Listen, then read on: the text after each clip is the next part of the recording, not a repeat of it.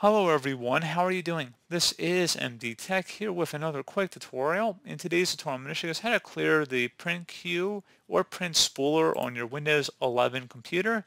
So this tutorial will apply for earlier versions of Windows as well, but this should be a pretty straightforward process, guys. And without further ado, let's go ahead and jump right into it. So first thing I recommend doing here would be to open up the search menu, type in services. Best match should come back with services. Go ahead and open that up. You want to locate the print spooler service from this list, so go down to it. And then you want to double click on it. Do you want to stop the service.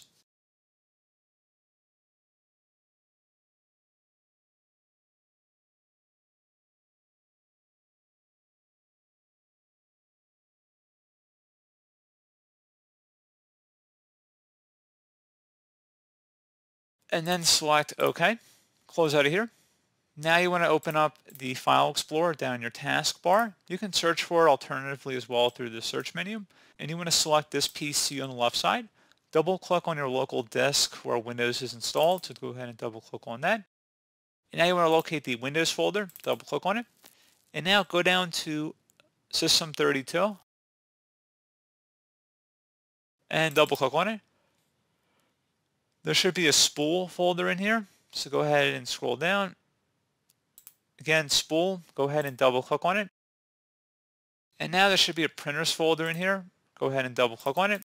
You may need to gain access or permission to the folder. Select continue.